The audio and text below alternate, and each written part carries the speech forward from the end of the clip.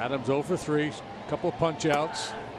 Throw to first. They're going to get him. Piscotty is out. Oof.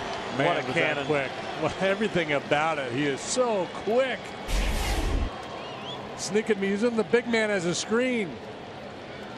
Slides to his knees and slings that ball down there, not close. Rizzo sneaking in behind. Perfectly timed play.